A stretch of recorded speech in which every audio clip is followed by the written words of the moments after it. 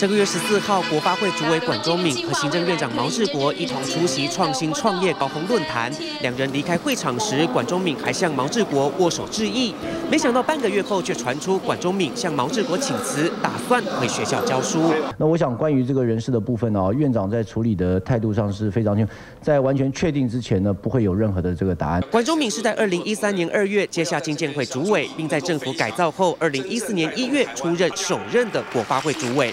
不过，由于任内主导的自由经济示范区在立法院遭到绿委阻挠，加上最近与台北市长柯文哲谈妥，让创新创业园区小戏谷落脚花博园区，关中敏自觉阶段性任务完成，一月二十三号向毛奎请辞，府院未留不成，免予同意，但希望管中敏不要先发布消息。